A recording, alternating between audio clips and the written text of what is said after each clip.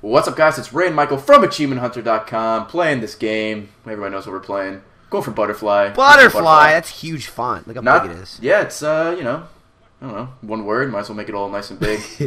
Not to be confused with Butterfree, which is an awesome Pokemon. This is called Butter Butterfly. Common Not to be confused with the song Firefly either. Yes, also rookie mistake if you uh, do that as well. Is there 10 million butterflies in this? Uh, there is. You can't see right now, but I'm playing with Really? a keyboard. I'm playing an E, key- an e wow, an air keyboard with my hands. An. E keyboard. Uh, that too. I fucking hate my life. All right, so this is um the same level as the previous video. What the hell are you? This in between is a rock and a hard place. Yes, rock and a hard place, Bam! I'm like fucking So- smart, or it was just called rock and a hard place. But still, Close enough. All right, so uh, at the end of the level, you're gonna get attacked by this jet, and that jet will fuck you up. So uh, what you want to do is um, follow your teammates and hide where they hide, so you don't die. hide in the grass. That'll protect you from the jet. Absolutely. Once again, we are playing on easy, even though I think uh, easy or hard, this doesn't make a difference because if you're out in the open, the jet will kill you instantaneously. So uh, watch out for that. That's bad stuff. And what you want to do here is kill the jet with one missile from the Stinger missile thingy. So what we're doing here is running all the way over here, taking cover there to get the uh, the launcher, which is all the way at the end by the truck. Right. And uh, you got to be careful with the AI because at the next part right here, I obviously cut it out because I'm a professional. Right next to that, Yeah. that burning truck, if you like hide next to the left side, uh, where is he? Uh, he'll come right here. That guy will push you out in the open like a Whee! dickhead, and you will die. Like he will do a sliding fucking kick, and you're out in the open prone, and there's a jet, and you're like, well, fuck. And Does the die. fucking Richter Belmont fucking slide? Yes, he does. Or the uh, Sub Zero slide from Mortal Kombat. Very annoying. too.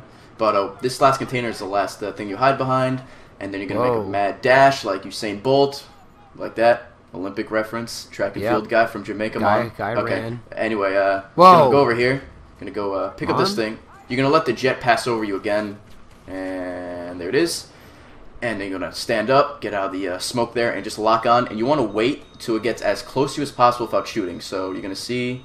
Just gonna wait tension. and wait and see the bullets coming down and wait for it. Yeah, when the explosions get like that close, that'd be a good time to shoot because or else you're gonna die. And if you shoot earlier, uh, the missile will miss, thus inducing rage because you have to restart it all over again. But um, you should know something about that, maybe. Uh, I don't get no. it. Oh, you don't. Oh, did you actually fire it? God damn, it took that long to catch up to it. Yeah, it did fire it, and then it catches up to it. Well, bam! It goes to boom. Butterfly, 25 gamer score, doing some jumpies there to celebrate.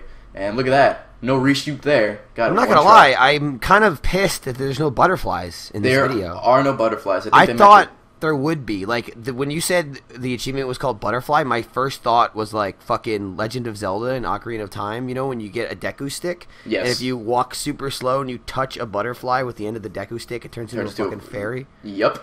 Uh, no. I thought that's that what we were game. doing a guide for, and I'm kind of pissed off that that's not it. Nope. Also, that was a great use of the word instantaneous. Thank you. I uh, wrote that down, right in my notes, and I practiced many times before this to say it correctly, and I uh, nailed it. Well, it shows.